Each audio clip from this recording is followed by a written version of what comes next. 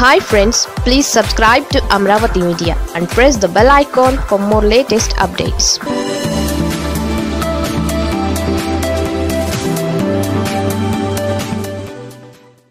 Jagan Chandrababu target ఒకటే ఎవరు పైచేయి సాధిస్తారు? వచ్చే ఎన్నికలకు సంబంధించి ఇటు జగన్మోహన్ రెడ్డి అటు చంద్రబాబు నాయుడు ఒకటే టార్గెట్ మీద కన్నేశారు. ఇంతకీ ఆ టార్గెట్ ఏంటంటే బీసీ ఓటు బ్యాంక్. పార్టీకి దూరమైన ఓటు బ్యాంకును తిరిగి ఎలాగైనా సంపాదించుకోవాలని చంద్రబాబు నానా అవస్థలు పడుతున్నారు. ఇదే సమయంలో టీడీపీ దగ్గర మిగులున్న ఓటు బ్యాంకును కూడా బయటకు లాగేసి తన ఖాతాలో వేసుకునేందుకు జగన్ గట్టి ప్రయత్నాల్లో ఉన్నారు.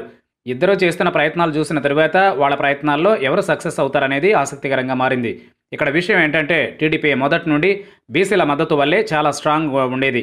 అయితే బీసీల మద్దతును కష్టపడి చంద్రబాబు చెడగొట్టుకున్నారు. ఎన్టీఆర్ హయాంలో పార్టీకి బీసీలు పటిష్టమైన ఓటు బ్యాంకును వివిధ కారణాలతో చంద్రబాబు దూరం చేసుకున్నారు.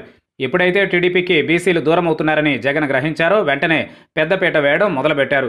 ప్రతిపక్షంలో ఉన్నప్పుడే వైసీపీకి వచ్చిన ఒకటి అర ఎమ్మెల్సీ పోస్టులను జగన్ బీసీలకు కేటాయించారు. అలాగే మొన్నటి ఎన్నికలలో రాయలసీమలోని ఎనిమిది లోక్సభ టికెట్లలో జగన్ బీసీలకు ఆరు కేటాయించారు. ఇదే సమయంలో చంద్రబాబు మాత్రం బీసీలను పట్టించుకోలేదు. ఇద్దరికీ తేడాను గమనించిన బీసీలు జగన్ వైపు మొగ్గారు.